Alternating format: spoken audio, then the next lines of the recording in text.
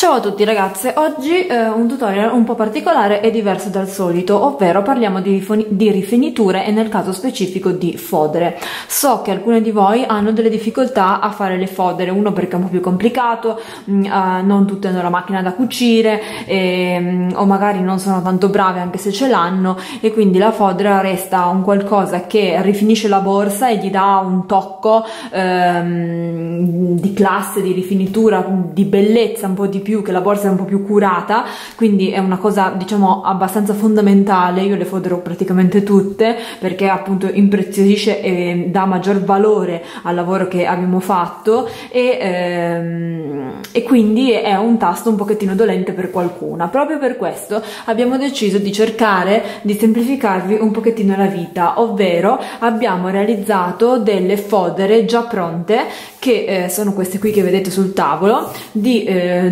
diverse misure e in diversi eh, colori in modo che la voi eh, potete già direttamente acquistare la fodera già fatta già cucita e solo più attaccarla alla borsa e vedremo anche come fare per attaccare la fodera alla borsa come cucirla.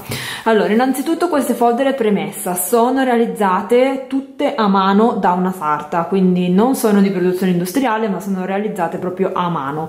Sono in un tessuto proprio mm, un foderame di acetato e viscosa tutte tinta unita in diverse tonalità. Qui ad esempio vedete che ho il blu, il bordeaux, il panna, il nero, il grigio chiaro. Ci sono diverse tonalità da cui scegliere ed abbinare ai vari cordini con cui avete realizzato la borsa.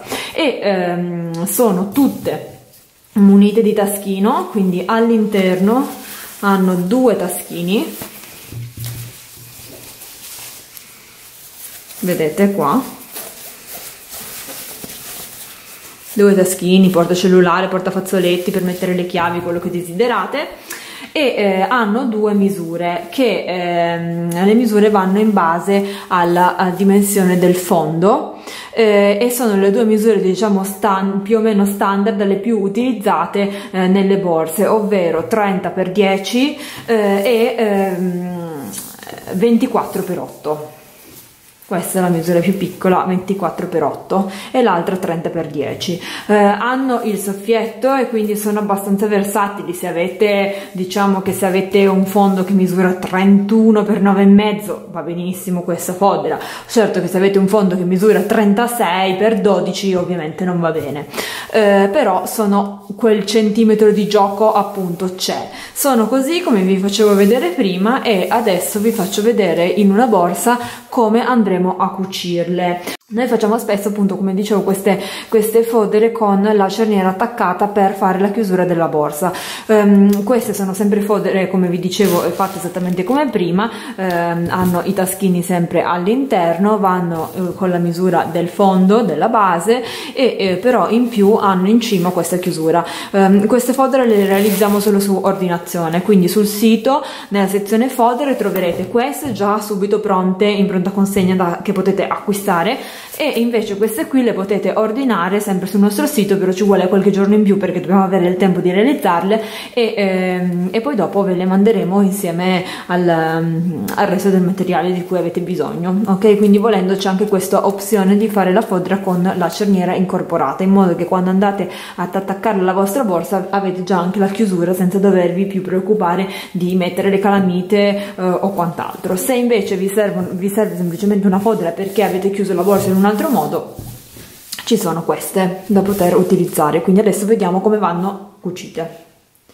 Vi faccio vedere a cucire una fodera all'interno della borsa. Allora una cosa che non vi ho detto prima le fodere hanno un'altezza standard che se vi vanno bene le potete attaccare così come sono lunghe tutte. Altrimenti nel caso fossero lunghe potete risvoltarla quindi la dovete sverciare così da fuori in modo che andate ad abbassarla e a renderla della misura che vi serve senza doverne cucire né niente e mh, mm, da dentro non si vedrà assolutamente nulla.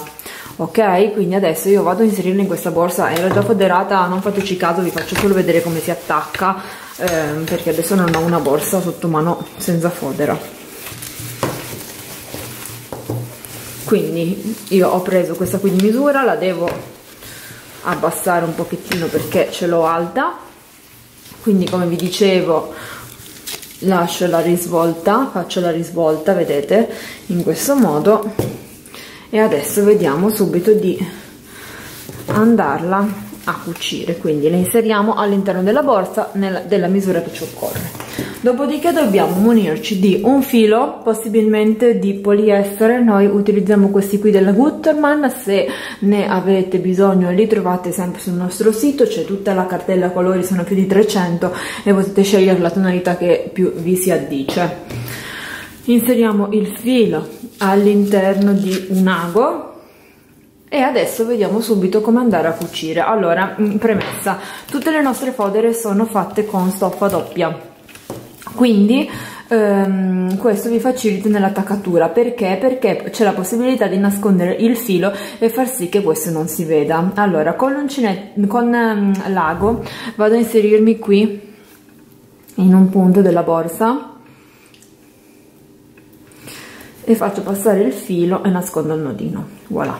Dopodiché mi inserisco nella mia fodera ma vado a prendere solo il primo strato e non entro nell'ultimo in modo che vedete l'ago passi così ma che non si vede dall'interno in modo che andiamo a fissare e a cucirci attaccato alla nostra borsa ma senza eh, dover ehm, far vedere il filo all'interno. Quindi all'interno resterà la fodera pulita pulita senza neanche vedere i punti di attaccatura quindi adesso di nuovo passo in una maglia del corpo borsa e poi rientro prendo anche due maglie per dare maggiore stabilità rientro così nella fodera senza sempre vedete prendere l'ultimo strato. Tiro.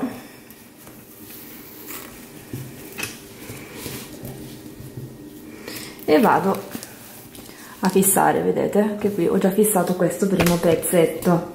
E questo è il procedimento per andare a cucire la fodera. Dovete cercare di fare i punti più, um, il più vicino possibili per dare maggiore robustezza. Quindi di nuovo entro all'interno della borsa. E poi prendo di nuovo la mia fodera esco in questo modo trasversale vedete? E questo mi permette di prendere solo il primo strato e non il secondo. E di fare una cucitura il più possibile invisibile vedete? Che dall'interno si vede nulla. Mentre qui sto andando ad attaccare e a cucire. Quindi di nuovo vedete passo in un punto del corpo borsa e poi mi inserisco in orizzontale in questo modo. Con l'ago attraverso la fodera prendo e tiro. Quindi l'intero procedimento per attaccare la fodera su tutti i lati è questo. Mm?